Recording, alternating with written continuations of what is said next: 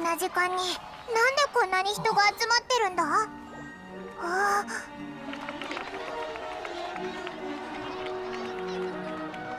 凱旋した英雄を迎える歓迎の儀ほど盛大なものはなかろう？あなたは教令員の追放者。いかにも。だが今は皆に博士と呼ばれているあの女研究員ならとっくに監禁室だ。自身に仕掛けられた盗聴器にすら気づけないとは。一学者として持つべき慎重さを書いていると言わざるを得んな。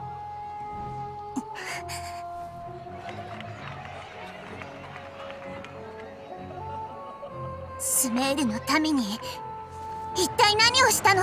潜在意識に情報を投入できるようアーカー社端末を少しばかり改造しただけだ。熱狂的な民たちはこの旅人が世界を救ったばかりの英雄だと信じきっている。実験は成功だ。そして人々は今にも自らの情熱を抑えきれなくなりそうだ。どどうする？行ってシティの外へ。でもあいつはファタスなんだぞ。お前を置き去りになんか。私もスメールの民を放ってはおけない。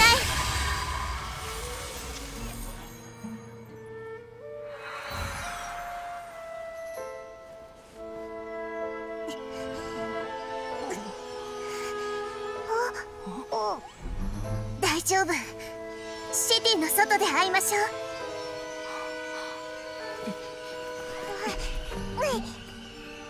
ほう。自らの意識を使い全員の思考を占拠したか。